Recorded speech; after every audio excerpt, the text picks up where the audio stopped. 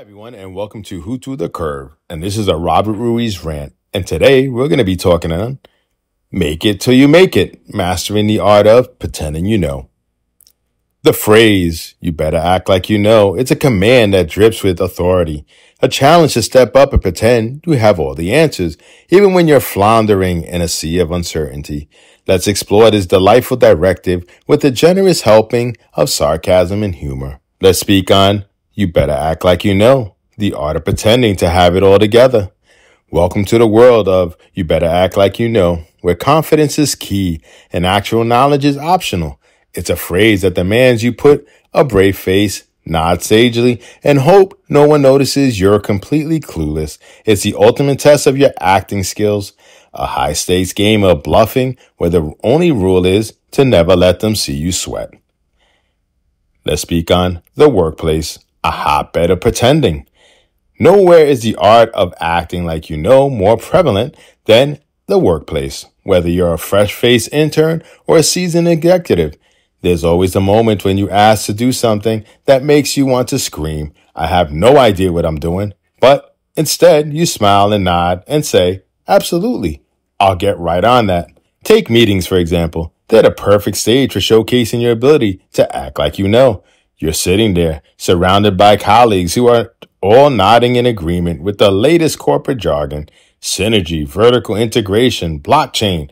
Who even knows what these words mean? But you nod along, furiously taking notes and hoping no one asks for your input, because if they do, you'll have to pull out your best buzzwords and hope for the best. Let's speak on social situations, the ultimate test.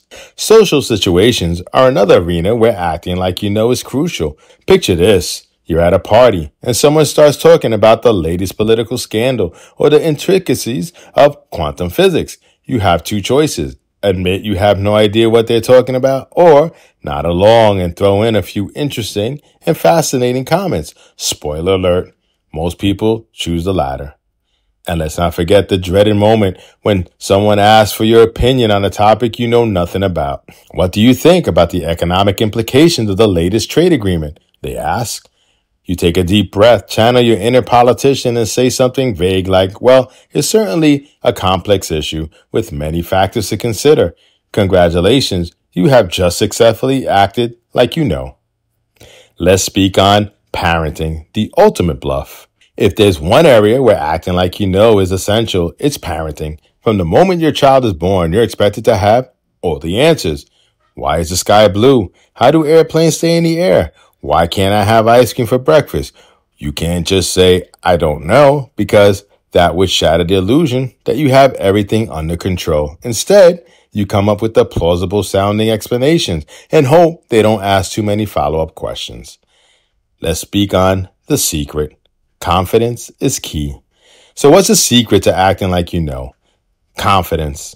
It's all about projecting an air of certainty. Even when you're internally screaming, walk with purpose, speak with conviction, and never let them see you doubt yourself. Remember, most people are just as clueless as you are.